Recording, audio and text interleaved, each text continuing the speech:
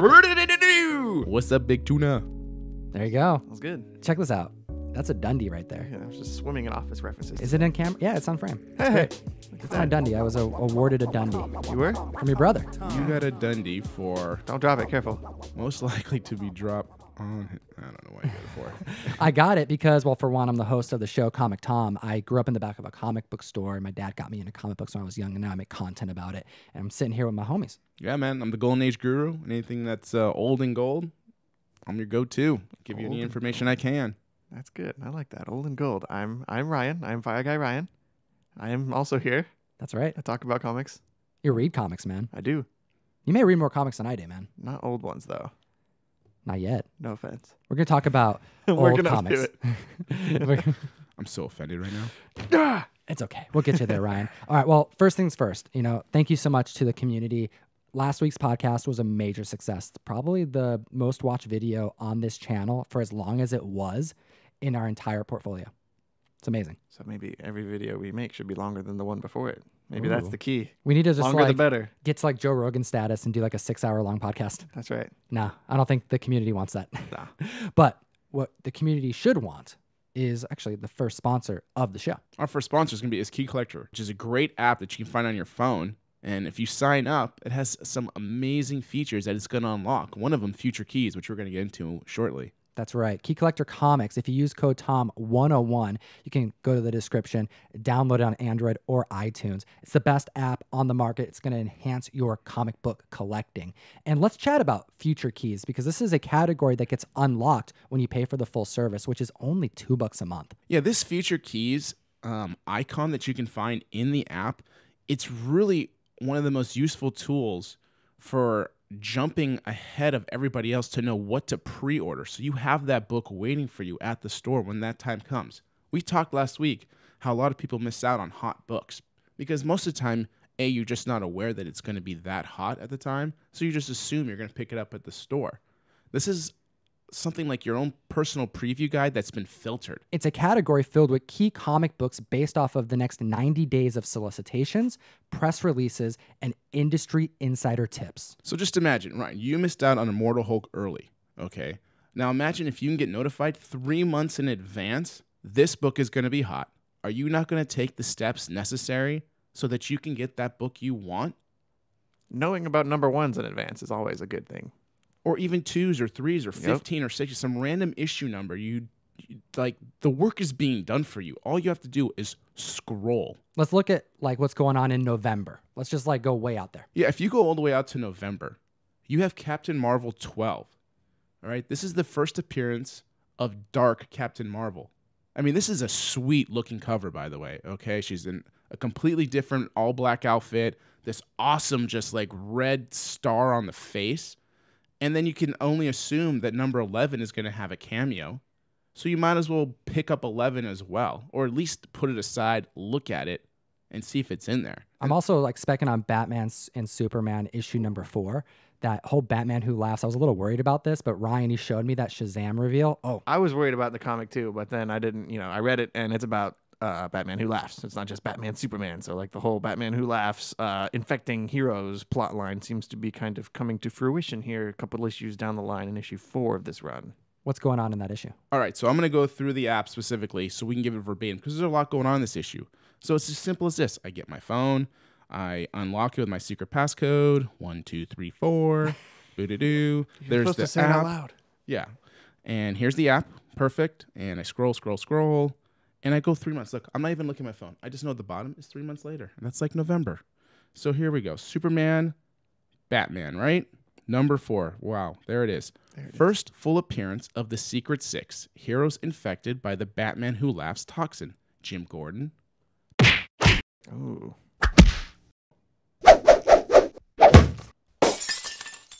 I'm Some of those have already Yeah. happened just in issue one, by the way. So This is like the team, the first. this is team exciting. Yeah. I'm mm. excited anyway. I'm getting that for sure. I'm adding that to my pull list. Download Key Collector Comics, use that code TOM101, support the show, but also help yourself get some really dope comics ahead of time. And don't be that person who shows up at the shop complaining that you don't get that one hot book of the day. Don't You be mean- Jim Lee. I was gonna say. Don't Jim Lee. All right, we got a show uh. filled with a lot of fun stuff. We're talking about comic book like rumors. We're talking about like awesome crossover events that are happening. Rob Liefeld was hit by a car back in 2000 that I didn't hear about this story. It's really, really crazy. Um, we have like Hulk v Wolverine talk and the ending of binge watching shows as we know it is upon us. Let's get into the show. Ryan, Yes, sir. Powers of X, House of X. Yep. Oh my gosh, did they just connect it to Absolute Carnage? So, this comic just came out a few days ago. So, spoiler warning. I'm going to read a little bit of Powers of X issue number 4. Let me uh, just break it down a little a little bit for you. This storyline is about the island of Krakoa. And there's a sequence in Powers of X number 4 where the mutant Cypher, his name is Doug, which is not as cool of a name. He has like the power of language, so he's able to talk to Krakoa, which uh, side note, the speech bubbles that Krakoa uses are definitely the same text as null. Ooh. Yeah, which is not as so much of a side note as like a preview, I guess. So he talks to Krakoa, and Krakoa tells Doug that uh, in in the past, in the way way past, Krakoa used to be one big island, and at a certain point there was a mysterious being who used a twilight sword to chop this island in half, and it became Krakoa and Arakko. It's like a like an anagram. It's using the same letters, but it spells Arakko instead of Krakoa. So now there are two of these islands, and the speculation is that this being who split the island with this twilight sword is Null, I love this, man. the symbiote god. It's crazy, man. Null is the precursor to all of Marvel. He's popping up all over the place lately. He was there in the void. He was there in Awakened by the Celestials. Like this is a character that is gaining ground because the comics are so good. And I think it's worth pointing that out here that you don't have a movie, you don't have a cartoon or anything like that. You just have good writing that's causing a character to pop. Comics still got it. This is what drives people to comics and keeps them and retains them. No nonsense, good storytelling, good artwork, just great, great stuff that we should all really enjoy.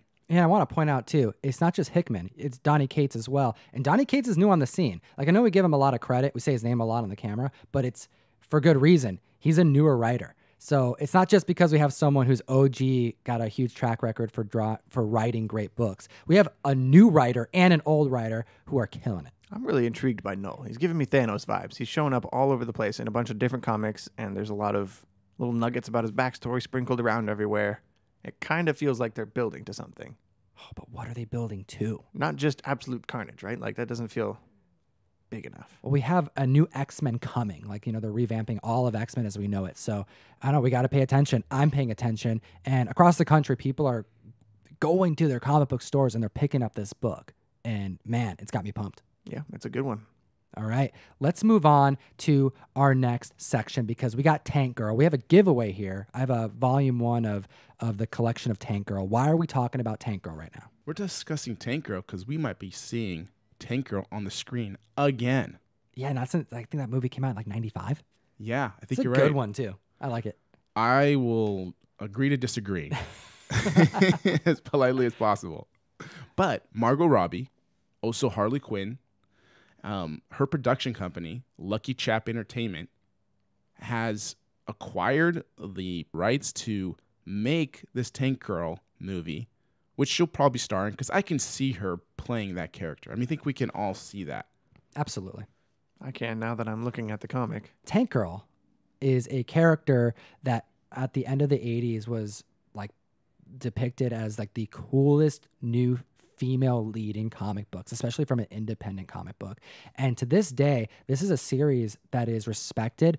And I think of like past conventions that I attended, helping out at booths and stuff. I know, right? Isn't that dope? I could see it. right? That's her. look- see it. She's going to do it. So at conventions, uh, one of the things that I remember most is all right, you got to get those books that are going to go up on the wall, but then you also need those books in the front that are a little bit more affordable, kind of like at a grocery store. You know, you put the the stuff that you're trying to sell at the end of the aisle. The money beats. The money beats, exactly. So Tank Girl is a money beat. You put your Spider-Man one by McFarlane, you get those out in the front. You also put your Tank Girl out front. Those are gonna always sell, and they do. And I remember being at Rose City helping out Hills of Comics. Shout out John.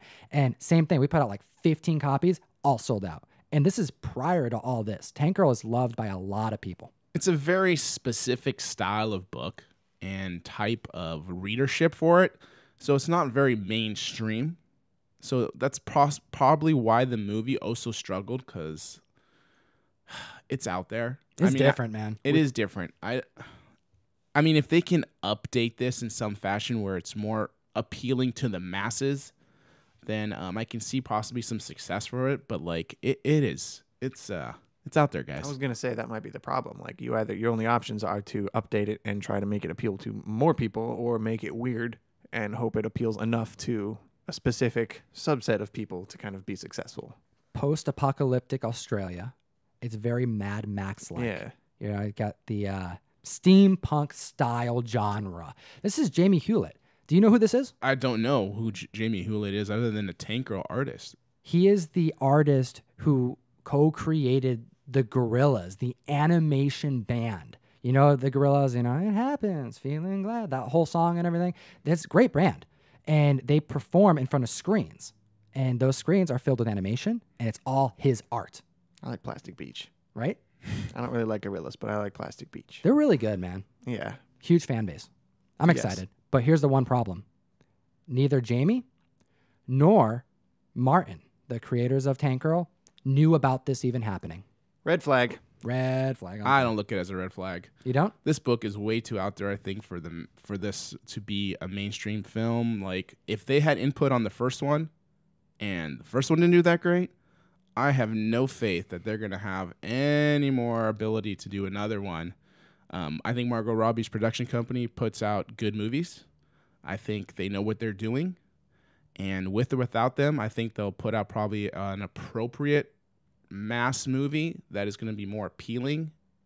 And I don't think they need them. They have the character, they have the actress who I think can do a good job. Maybe they'll ask for some thoughts on it, sure, but like, man, I don't think it makes a freaking difference with this book, uh, with this movie specifically. Because if, it doesn't follow the book, I think it's better off. I think it just has has to be loosely interpreted personally. I think that the fans of Tank Girl need the input from the creators. Even their endorsement would go a long way. That could be the case for sure. I mean, if you're going to look at it more like they want the stamp of approval just because they're going to feel better that it was more authenticated by the creators, then yes, I absolutely get that. What do you think, comic fan? I want to hear your thoughts on this. I want to know if you think that the creators of these independent comics need to have some type of input in these movie franchises, even if it's just a little bit. You know, we saw Hellboy get Mignola involved, and that apparently that really didn't help. So maybe I'm wrong. Let us know. Also, want to let you know about our mystery mail call. This is our comic book subscription service where we send you comic books every month. It helps fund the show and it helps get you comic books every month at your door. The link's in the bio, comictom101.com. And we are in our last day of sign up because this gets dropped on Sunday, the 15th. It's the cutoff day. So if you want to join the community, we are selling out this month. And it's probably because of the dope exclusive we got. Yeah, we got that Gut Ghost variant. That's right. That thing is beautiful. And this is like the first month that we're like actually maybe not gonna have enough mail calls for people. So like That's crazy. yeah. I, I did not expect this kind of gargantuan growth after an announcement for an exclusive. That's right. And we're going to be doing another exclusive next month, and we're going to keep that going. So definitely want to join the community ASAP. All right, let's jump into some Riri Williams spec news rumors. Right? I don't. I don't know if going to happen. But what do you think, Ryan? They're talking about maybe doing a Riri Williams Ironheart, maybe Disney Plus series eventually down the line at some point. And the rumor is that it's going to have an AI Tony Stark, just like the comic book. Not just Tony Stark, but the rumor is that Robert Downey Jr. is going to play this AI Tony Stark. Okay, so this has books spiking. We're seeing people starting to put money into the first appearance of Riri Williams. We got people looking at the first appearance of Tony Stark as an AI. I don't even want to go over the prices because I really don't think that this is going to happen. But I could be wrong. Now, I didn't think She Hulk would happen, so I could be wrong. But oh, I just really don't see this happening. I mean, don't you think that it would take away from his death from Endgame if they did anything with Robert Downey again? Yes. Yeah, I think so. That was a really powerful scene, and um, I get what you're saying about taking it away, because or taking away from it. Um, so yeah, I, I don't know if that would be the best decision. I mean, maybe they tried for a moment, like adapting a voice, and she's like, "Yeah, no, don't want that one." And you know what I mean? Like, Yeah. Wasn't he a hologram at the end of Endgame? Right? With the Love You 3000 scene at the cabin? Yeah. I And, guess like- they did it already, kind of. Yeah, like don't don't mess with the legacy. Don't don't bring it back. It's way too soon. I don't know when that show would come out, but like we've we've moved past it. I feel like it might even be too soon for uh, Riri Williams, an Ironheart character. Like that might even need to wait a while. I think for the the legacy effect to kind of kick in. I don't really see this happening. It's hard for me to imagine them putting a suit of armor on a teenager, you know, in that way, even for a Disney Plus show. They would have to age her up pretty pretty significantly, I think, to make it okay for for her to be doing something that dangerous. with no connection at all in the Marvel Cinematic Universe. Because like it would make more sense to have Peter Parker do something. That's another thing too. They just did the Iron Man mentor thing with uh, Spider-Man: Homecoming and and you know the fallout from that with Far From Home, and now to just kind of have Robert Downey Jr. again be a, a mentor again to a younger hero again using a iron suit again to kind of find their feet and, and become a superhero. It just feels like more of the same. So maybe Marvel will do it because they like to do that. I may be biased because I want to see Kang, but let's just bring Iron Lad in. That would be cooler. I think Young Avengers would be a better route to go than than Ironheart. All right. Wait, that's just rumors though. And we have more rumors to discuss on this show, and we'll get to that. But before we do, we need to talk about some like mainstream press. The Russia thing. The Russia thing. The Russia thing. ah, the Russia thing. The We Russia need- thing. We need Slav back. I know he's on his way back. He needs to break this one down for us. I can't wait till he's back, man. Me too. We miss you, bud. The Russia thing. and not an election thing, No, we're not talking about that. right? No. Now we're talking about uh, official of Russia who's talking about comic books and just totally just demeaned a whole community of people. Vladimir Medinsky. That was not bad. Pretty close. Pretty close, yeah. Um, so Vladimir Medinsky is a Russian culture minister, and he, for the most part, said, "If you're above the age of eight years old and you're reading a comic book, you are a moron." Like that's like pretty much verbatim, you know, in the translated way that he said it. Comics are like chewing gum, as you say. This is not food. Comics should be for a child who is only learning to read, up to seven or eight years old. But an adult to read comics is to admit that I'm a moron, I read comics. See, it's not just in America where individuals are being ridiculed for enjoying this medium, which, by the way, is made up largely by adults. Like, there's very little kids' comics happening, and it's kind of an expensive hobby to even be a part of. These comments blew up over there. There's a lot of people that enjoy comic books in Russia, and people got pissed real quick. And I find this pretty interesting because, one, this it shows that it's not just in America that individuals are ridiculed for enjoying this medium. This happens on foreign in foreign countries as well. And what's super interesting is that Russia also provides money to different sectors to fund comic book sales as well. So he's kind of hurting his own his own economy a little bit here. Like you said earlier, he just might not know all of the details about this. And, and yeah, it's definitely a global phenomenon to kind of talk down and, you know, crap on people who are into this hobby of ours. Last year we actually had some mainstream press around Bill Maher who was ridiculing the comic book industry pretty aggressively and I think he regretted it by the end of it. But what did he say? Can we stop pretending that the writing in comic books is so good? Oh, please. Every superhero movie is the same thing. A person who doesn't have powers gets them, has to figure out how they work, and then has to find a glory thing. Justice League, glory thing. Iron Man, glowy thing. Spider Man, glory thing. Captain America, glowy thing. It's like it. That whole comment is so naive and just dumbfounded and simplifies the storyline of these books. You can say that about like any movie. Yeah, any movie you can break down to its simplest format. You know, you got an action movie for crying out loud. Uh, someone stole my, killed my dog, and now I will go get revenge. Someone Or- kidnapped my daughter. I'm gonna go get revenge. Yeah, romance. You It's know, like complaining that there's protagonists and antagonists. It's like I don't know. Read a book. This movie has plot development. Damn it! oh, she broke my heart. I'm going to now struggle with that relationship and carry that on through the rest of my life until I find someone special to replace her. I mean, like, well, what do you want to say? Now, look, comic reading, I'm not saying is the highest level of reading, but we only read it because it's just fun storytelling that we can escape with characters that are just not in your day to day, you know, life, and it's just more fantasy based. It's just fun stuff to read. I wanted to bring up a conversation that happened. I don't know if you remember this, but this was in San Diego Comic Con. This is a true story.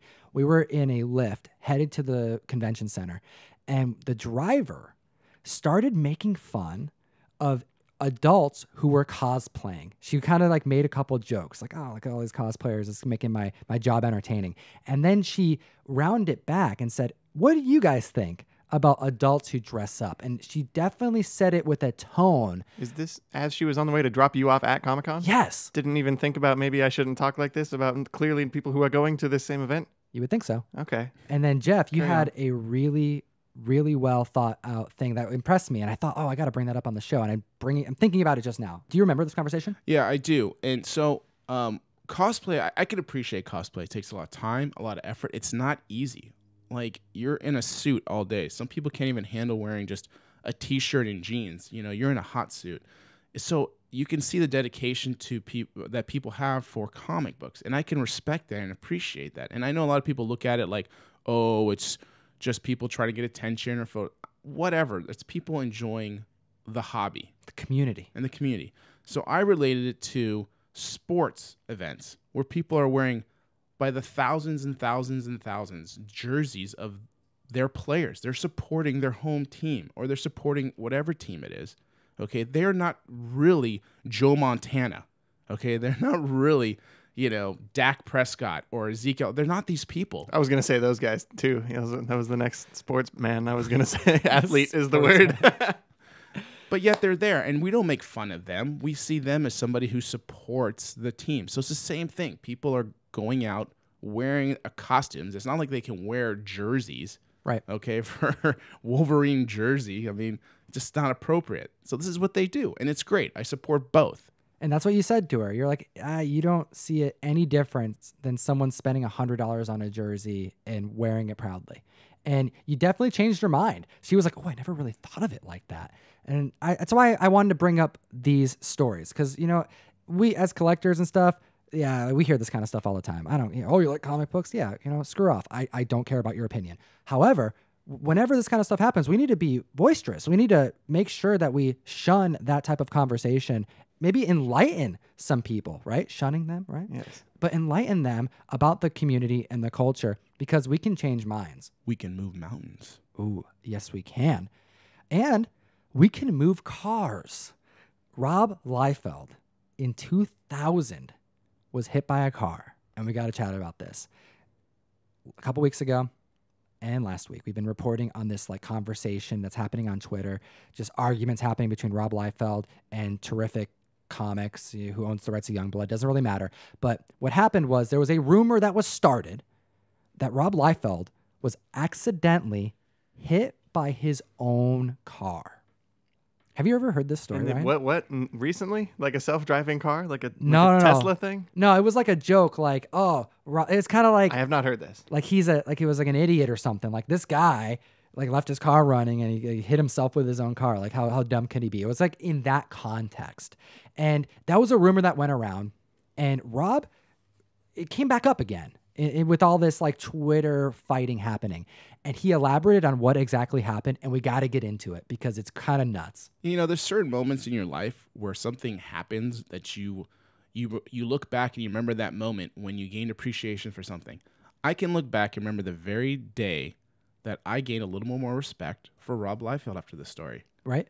because the story goes he's going to blockbuster now for those of you who are so young and you don't know what a blockbuster is oh, okay you used to have to go into a store and actually pick out your own movie by hand Off the wall. no digital screen, no crane machine grabbing it for you, nothing like that. Okay. And you would have to, and it came in a cassette form. Right. All right. And you rented it and you had to return it in a timely fashion or you will be fined. You either either go into the store or there was a drop box on the outside of the store, kind of like a library. And you got to make sure to rewind your movie because you would be fined as well for not winding it. But this is in 2000, so I'm assuming this is like DVD style. Well, like the early times of Yeah. DVDs, but they were, VHS was still So big I, thing. I want to imagine Rob is returning a VHS in this story. Yes. It was probably a DVD, but Rob gets out of his car, leaves it running because he's trying to get it in time so he doesn't have to pay a little bit more money. We've all been He's there. that close to the line. Like I've got seconds to lose. Like, I've got to hurry. and Get to the. I can't even shut my car off or like lock it or anything. I know.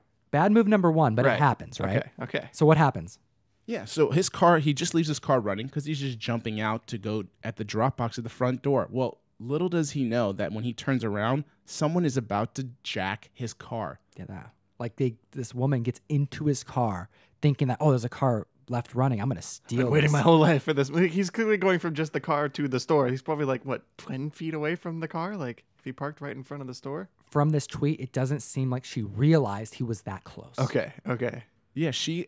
It, it seems like she was maybe going to assume he was going to go into the store, Okay. That makes. Sense. But since he turned around so quickly, she freaked out and drove oh no. forward. into Rob, into the blockbuster, pins him up against the wall. The glass breaks. People in Blockbuster freaking out.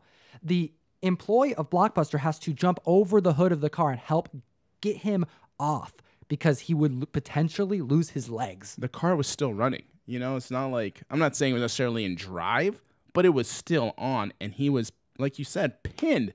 So he was concerned his legs were going to break at that point. So luckily, I don't know, by mirac- just by a miracle, he survived. Yeah, someone said thank the Lord, and he's like, yeah, there was something supernatural at play here because it was I've a not heard big any deal. of this before. I hadn't either, but you know what? It definitely humanizes him. You know, he's this huge creator, and you think, oh, dang, like that could have been it. You know, Stephen King got hit by a car too, right around that same time. he did. Mm-hmm. I wonder if it's connected. Mm.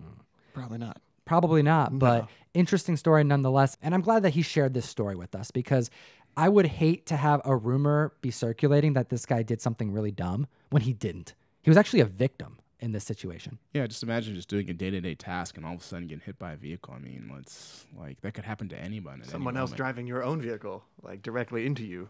That's Right. horrifying. Absolutely. and being late on your return for your movie. Even worse. I hope they give him some store credit or something after that whole experience. Store credit. There. Three free rentals. Have you guys seen the response to this Joker movie? I have. I'm almost. I'm getting. It's getting to the point where I'm nervous now. Like it's. It's getting such good responses that like I'm. I'm starting to think like maybe it's. It can't be that good. That's true, man. That's I'm a, a lot of pessimist. buildup. Yeah. Oh, you're a pessimist. Oh, I had no idea. Exactly. that's- yeah. Well, it's getting such good reviews, and something that's happened is Todd Phillips has gone out of his way to mention again that this is a standalone Joker film. Elseworlds keeps getting thrown out. There's not going to be any ties to the next Batman film that we're going to see Robert Pattinson, you know, play Bruce Bruce Wayne in. However, there is no control that he has over that, and I wanted to talk about that today. It's a studio decision. WB, they're going to do what they want. And right now we're seeing this $50 million budget. You know, you add that extra 40 to 50 million for marketing. They're talking about this making its money back on day one. That is nuts. That's crazy for a DC film about the Joker that has no comic book ties, really Or no Batman. or no Batman. Like, let that sink in. At least that we know. I haven't read any spoilers. I haven't watched the movie. So, what I'm interested in seeing is the response that WB has to the success of this movie because although it's not supposed to be tied, it may not be up to Todd Phillips, and we may see some continuation happen regardless of if we want it or not. Look at Suicide Squad. Look at Deadpool 2. Look at the JLA. I mean, this has happened over and over and over again. What do you think about this? I'm excited for the movie, so I want to. I don't want to get too far into all that other stuff, but I think it's okay to just have a good movie. I don't think things need to come in threes. Like it's hard enough. It's an uphill battle, let's just say, to make a really good movie. Sure. So tell me you're gonna make three in a row, and you're not gonna like completely, you know, mess it up at the end and then leave me like disappointed with the whole series now. Do one, find another character, find another story, and do a great job. Like that's that's why it's gonna be so good because the acting was good, the story was good. I don't need three movies. I don't need three mediocre-ish movies. I need one killer movie. What do you think about this? No mediocre Joker. They're already redoing the scenes of Morbius. Like I saw stuff in press saying that they're going to be reshooting some parts of the ending, making me think that they're going to be tying some type of Spider-Man in, you know, like scene into it potentially. I don't know, but anytime you see reshoots, it's raises the red flags or they'll ra- you know raise the alarms. It's no good. Yeah, if Dark Phoenix had a lot of reshoots, uh, and that didn't really work out very well for it. So far, the worst movie of the year. Sure. yeah And I remember that. You know, I don't want them to ruin a good thing with the Joker movie. And it's very, like you're saying, it's very plausible that they will see great returns and just pump out a trilogy for no reason when they should probably try the same thing, but with a different character. I don't know, something else. Explore some other avenue of the DC universe they have. You know, it would be, it'd be nice to see him try non Batman stuff or non Superman stuff. right? Like, see what you have a whole a whole universe there. You have your whole you have a whole different comic book company's worth of material to draw from. So Yeah, have faith in your characters, have faith in your story, have faith in your director. Put out something good. And then have James Gunn do it and see how it turns out. sure, that works too. All right. And then we also had Robert Pattinson have his like first interview talking about Batman. I've been waiting for this to happen. This happened like a week ago. But he had a conversation with Variety and by the end of the interview, they mentioned like, "Hey, what's going on with Batman? Like like how was that like finding out that you're going to be the next Bruce Wayne?" And you know what? I stand by what I said when the rumors were hitting that I'm excited about this, and I'm only more excited now. Because, for one, I think the main reason why people give Robert Pattinson so much crap is because of Twilight. Right. First thing I want to like just enlighten the community on, if that's why you're concerned about this, is just Google or YouTube Robert Pattinson on Twilight. He doesn't even like Twilight. He doesn't even like his own character in that role. He thought it was silly. He thought it was probably he probably thinks worse of Twilight than you think of Twilight. so let that sense. sink in. All right. This is a real person who did a role that he didn't even think would be that great of a movie. And then it just took off, unbeknownst to him.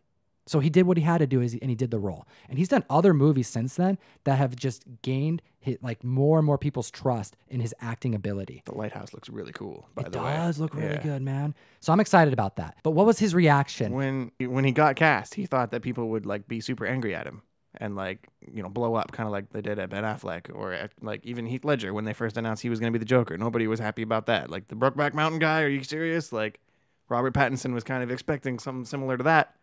Didn't really happen. No, it was like kind of a split. He's like, I, I knew it would be kind of rough, but he was also pretty surprised about the support he was getting. But then he started talking about the character and how he was going to take it on. And he thought about how open of a slate it was and how there's just so many different kinds of Batmans and how he can maybe add to this role, make, maybe make something new. And I want to see something new. That's what I want most. But if it's going to be something new, I'm okay with that. Like I, I'm going to have some hope for it because I, I think he can act and do a good job. Especially, hopefully, again, always comes down to story. And um, so I have hopes for this. But if it's the same type of Batman we're going to see, I, I'm not excited about it. So We've seen Batman ba- based off of like like the Ben Affleck Batman was heavily influenced by Dark Knight Returns, and then Batman Begins was really really based on Batman Year One, and I really want to see them use some other comic than just like the greatest hits Batman. Like I don't want to see some like this Joker movie seems to be like a Killing Joke kind of movie, and I would like to see them try something real different. Like try it like. Marvel's not afraid to use more modern storylines to base their their uh, storylines off of for the movies. Like, uh, give us a Court of Owls movie. Is what I really want to see. Like something different, like a Black Mirror, maybe Scott Snyder, something. His build is Different. what bugs me. I just don't see him as the Batman build that I expect from a Batman. So that's why I'm hoping for something different enough to where it'll interpret on screen in some other fashion where it makes sense. So I don't know what that He's got means. that jawline, man. He does, though. Josh Ma, man, I'm over the jawline. You put anybody in a mask with a jaw, they got to they can look like Batman.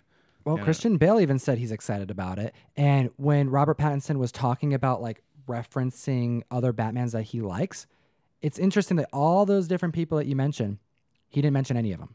He mentioned the Tim Burton Batman, that Batman that he used to dress up as when he was a kid. And that's what got me excited. I'm like, okay, this is a fan. This is someone who is going to respect the character, I hope.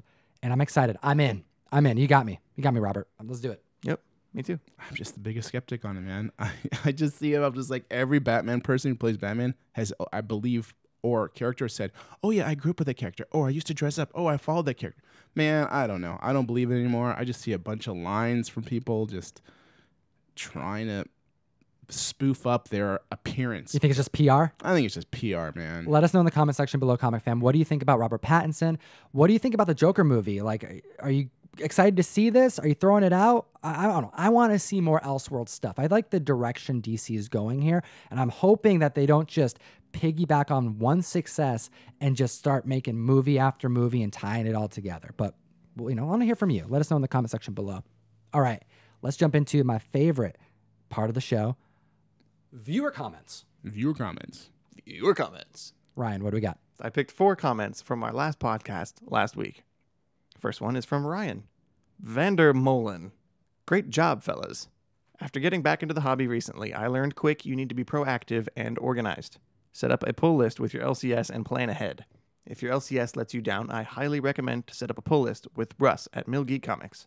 They accommodate out of state customers. That's right. Links in the bio for his Patreon. You pay monthly, you reserve your shelf, you get free shipping, and he'll hook you up and make sure you don't miss any titles. This next comment from uh, Jesse Gutierrez, I kind of just wanted to shout out because he's says he's been here for a while.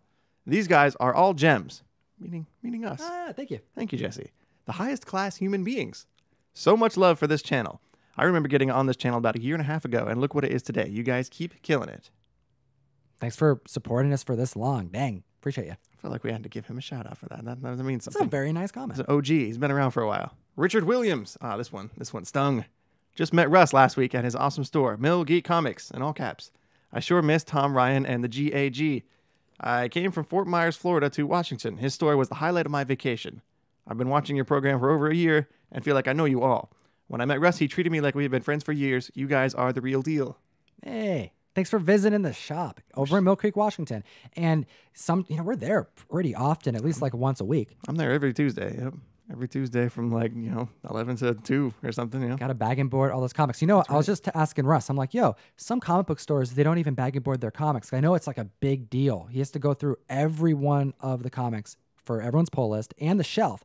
And I'm like, dude, are you sure you need to do that? Because some shops don't do it. And he's like, no, absolutely. It does make a Every single one needs to be bagged and boarded. He just was like, shut it down. No, you have to do it. I'm like, oh, cool. I agree with you, but I just wanted to hear your thoughts. It's a fun process. It's like respect, man. Yeah, I like doing that for him. Jeff Eunice, you're going big time now. This video was on my phone wall for things I may be interested in. I guess it's the Google search function on my phone. Ooh. The internet is onto us. Kind of brings up a good point though about uh, like uh, hitting the like button, for example, Ooh. like the working the algorithm. It does. Actually, it helps us out a lot. And if you like, subscribe and comment down below. We do have this Tank Girl trade paperback that you got to read. We also have this uh, poster by uh, it's John Boy doing Wonder Woman. It's signed by him. And we also have another giveaway, but we're going to show that at the end of the show. Ooh. So comment down below. We have three giveaways, and we'll also announce the giveaways from last week. And let's talk about another rumor that I'm actually thinking is way more plausible. Let's get into the Wolverine versus the Hulk. I don't think there's a single person who collects comics that would not love to see this happen. right? We're seeing rumors of a potential movie of Ryan's. I forget every time I we talk about Wolverine, I forget like Ryan is the only guy This who's is just Wolverine and Hulk too, so it's like it's like double negative. unless for it's ya. Immortal Hulk, like I'll give him a pass. it's the same Hulk, man. That's true. All right, but it's like that's a whole nother topic conversation. But when we're talking about Wolverine versus the Hulk, these rumors are circulating, and we got to chat about this because everyone's excited. Everyone's going on YouTube talking about this. We haven't even seen any trace of X Men in the MCU, but you know what? We're hearing more about this than like anything else, You kind of have to think they're gonna put Wolverine in it somehow. right? Yeah, He's gonna get his own franchise. He's gonna get at least three movies. how can he not? Right? Like, no matter how much one or two people might not want it to happen, uh, he's, it's going to happen. And I think by the time X Men finally starts to happen in the MCU, it's going to have been en- enough time since like what Logan or whatever the last X Men movie was. There's going to be enough time, I think, for for him to come back. This is why it makes sense For one, imagine the solicit. Imagine the trailer. It'll break the internet. Wolverine versus Hulk. Holy smokes. That'll be the biggest thing that happens that year. First things first. Then you have the Hulk. Mark Ruffalo can play the Hulk for decades. It's a CGI character. So it's safe to say that we're going to have Hulk. We're not going to see a team up of Wolverine and Captain America. That's not going to happen. So it's like the next best thing. I don't know when this is going to happen. So I don't want to get people's hopes up like it's happening next year or production or whatever. But They move fast, man. You never know. yeah, you just never know. I mean, like you mentioned, I mean, Hulk is Mark Ruffalo can play him forever. So once they get that right Wolverine and the right Hulk, which is not like Smarty Pants Hulk, but actually like you know, Is that going to be his name? Smarty Pants yeah, Hulk? Hulk Hulk, yeah, Hulk Smash Hulk, you know that kind of Hulk. Then I would love to see this event happen. I find this intriguing because when the what if rumors first started circulating, and I'm talking about prior to D23, what was the comic book that people were specking on? Because it wasn't what if number one. No, no, it's it's what if thirty one when you have what if Wolverine had killed the Hulk. That's right. Started selling out pretty quick, and we started seeing some convention talk as well. People asking a lot of dealers for this book. People starting to pay a little bit more for it, and it's a classic book too. So it's like you know, hey, if it doesn't happen, it's still a dope book to have. But then with the D23 announcements, you know, we're getting 23 episodes that are going to coincide with the 23 movies. Well, that ain't going to happen. You know, that's out, that's off the board.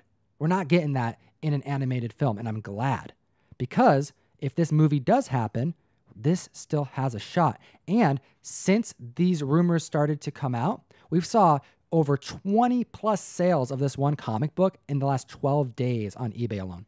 That's actually pretty amazing. Right? For this book? Yeah, I mean it's it's a pretty common book.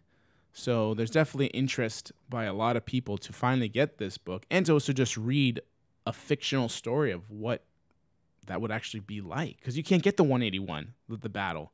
But to actually get a fictional story of a conclusion to this epic moment in comics, It would be so cool to see, you know, Wolverine just slicing up Hulk. I want to see this. And you know what? They got my money if they put it up to the screen. yeah, I'd pay to see that. I would too. Maybe a couple times. You wouldn't pay to see that, Ryan. You I'd watch ca- it for care. free. You watch it for free. All I right. wouldn't pirate it, but I would watch it at a friend's house. there you go. There you go. Don't pirate things. Let's chat about a huge change that's coming. And a change that's coming because of superheroes. I'm going to credit superheroes for this because if we have foreign government officials and we have comedic commentators talking down about the comic book industry and how just it's a useless part of Americana, well, then I'm going to show you how it affects billion dollar industries right now because Netflix is changing. How is it changing? They're dropping the uh, the binge model that they've adapted for the past few years of kind of dropping an entire season of television all at once on one day and saying go for it, you know, and watch the whole thing all at once or you know have at it. It's like their main selling point, Yeah, right? Like, do you remember that? It's like start binge watching. Like, that was what brought people to Netflix. You're going to get the whole series. You got to catch up that week. don't have to wait every week for episodes. You can just sit down and just blast through it and kill a whole weekend, and you know it it was fun. But you know it's impossible to kind of keep on pace with your friends and like have discussions about the show because nobody's on it at the same pace. It's also hard to keep up with subscriptions. And we're seeing right now with Disney Plus coming, we already have D- the DCU app doing it. They're going to be releasing so much original content, so much that it's got Netflix shaking in their boots. Yeah, they're releasing superhero content, like a lot of superhero content. And the reason that Netflix is thinking about dropping this binge format is that you don't have the consistent retention of your viewership. If you drop it all in one night, you're going to have somebody there for one or two days potentially watching it and then gone till next year. Or even longer, potentially. or even longer. So, I mean, you have this weekly consistent program where a person has to tune in and be there, then that's going to retain the viewership for you. So that's what they're building on, and that makes sense. If you really think about it, that makes sense. When all your other competitors that are paid services are going to provide all this amazing content, and it's going to make you stay on their channel because you're there every day for some new show. there's going to be probably new episodes of some particular show every other day, if not every day, with the amount of shows that they're going to be putting out on the Disney app. Think about how big Umbrella Academy would have been if they hadn't have just dropped it all at once. Yeah, it came and went, man. It came and went, and people talked about it for a long time compared to other Netflix shows. It was on people's. We talked about it for like a month. I want to say like it was it was a pretty big deal. But like if they had the ten episodes, for example, I don't remember how long Umbrella Academy was, but that'd be ten weeks of of just sustained discussion. Yeah, like three months, That's and then way better. The added months, you know, people still catching up. Like The hype. the hype would be Yeah. real, and Netflix is realizing with you know they got to be losing subscribers, and they're gonna be losing subscribers in a couple months, probably by waves. Yeah. So they're gonna be changing this up, and it's because of superheroes. This industry makes a huge impact in culture. Yeah, I mean, like, like you said, it's the superheroes that are causing this change because now Netflix has to completely change because they cannot keep up with that model, and they're seeing that by losing people. And I imagine people are gonna have to start picking which apps they're going to put money into. Yeah, I mean, like, there's got to be a threshold. I mean, I can't pay for, well, I will have to because we have to inform you guys. So I'll have to be paying for all of these, but not the average person is going to want to spend A, their, their normal cable bill. All right. That's and the first then, thing. That That's goes. gone already. That's the first thing that goes. Yeah. Well, and then they, they, but they package everything, right? Because you want to get your internet, you get your phone, you get your cable, so they get you in this bundle already, and then you're like, okay, well, I want to stream um, Netflix, uh, Disney Plus, DC stuff. You're gonna Amazon. Amazon. You're gonna do, you know, Apple we TV. should each do one and then share the passwords, and that way the three of us have you know do Netflix, we do Hulu, we do Disney Plus, and that way. you know, Right, but we're all thinking about it, like, how do you maintain all that? Doesn't make sense. So you got to have a great lineup, and you got to keep your, you got to keep the people you have. It's the original content. That is the key part of this. They're saying that The Office is going to be leaving Netflix as well because NBC is going to be starting their own app as They're well. starting their own too, so it, things are really going to change in the next year or two. So now I want to round out the show with more cameo, first appearance stuff. These guys don't even want to talk about it anymore, but I got to. We got to talk about one more thing because I realized, actually, I didn't realize this. Uh, Key Collector did, posted it on Facebook, and my jaw dropped that I missed out on this because I was so focused when the Powers of X, House of X preview came out. They put out all the first appearances of Marvel characters, right? Specifically X Men characters. And they had Hulk 180 as the first full appearance of Wolverine. What I failed to notice was that among the other characters, there were straight up errors on the page. First off, they say that the Toad first appeared in X Men number three. That's just wrong. According to the Marvel database and CGC, the first appearance of the Toad is X Men 4. So this is just a blatant error. Yeah. I mean, there's not much more to say. I mean, it's in black and white. First Toad, number four. I don't know where they got number three. There's not like a tongue sticking out of like the edge of a panel. No, or I went like through page by page, man. Okay, you I want to make sure. I'm like, hey, I know this has the blob. That's shadow of a toad. Nothing, yeah, I mean, you got the going on? first. Yeah, you got the first Blob in number three, and then before that, the Vanisher. Now you have Brotherhood of Evil number four, and you have the Toad there. So I mean, it's like it was very, like this is the character for this issue. This is the character for this issue. Here's the characters for this next one. That's not the only error on this page, though, because it actually says that the first appearance of Archangel, which, you know, is Angel, appeared in X Men number three as well. Mm, that's not true. X Men number one, he's on the freaking cover. How do you miss that? Yeah, he's he's one of the main X Men from like the first issue. And part of the reason why I wanted to mention Archangel in this is because I wanted to look this up. I, I went on a little run because I'm like, you know what? I want to see, I want to refresh myself on X Factor. I haven't read it in a long time.